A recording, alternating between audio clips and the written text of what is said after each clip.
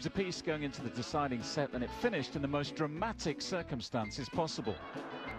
Can you believe it? Yeah. Oh, what a way to finish it. I mean, she will be heartbroken. IPTL rules state that a service motion must be finished once the ball has left the service.